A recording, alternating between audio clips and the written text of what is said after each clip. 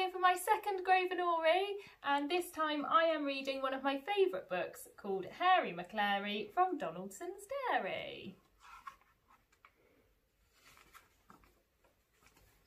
Out of the gate and off for a walk went Hairy Maclary from Donaldson's Dairy. And Hercules, Hercules Morse as big as a horse. With Hairy Maclary from Donaldson's Dairy.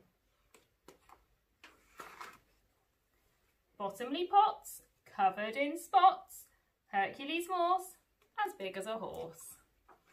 And Hairy Maclary from Donaldson's Dairy.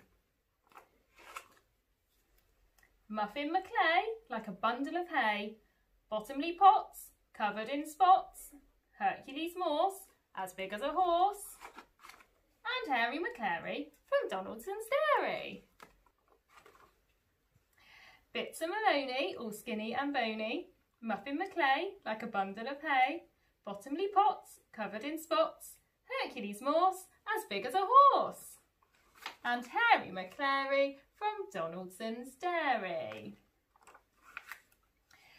Schnitzel von Krumm, with a very low tum, Bitzer Maloney, all skinny and bony, Muffin McLay, like a bundle of hay, Bottomley Potts, covered in spots, Hercules Morse, as big as a horse, and Hairy Maclary from Donaldson's Dairy. With his tail in the air, they trotted on down, past the shops and the park, to the far end of town. They sniffed at the smells, and they snooped at each door, when suddenly, out of the shadows, they saw Scarface Claw, the toughest Tom in town. Youse, said Scarface Claw.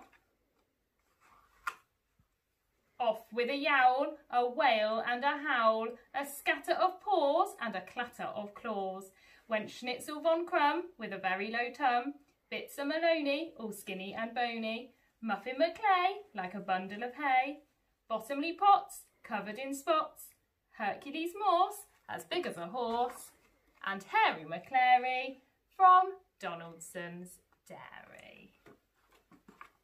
Straight back home to bed. That's the end. I hope you enjoyed it.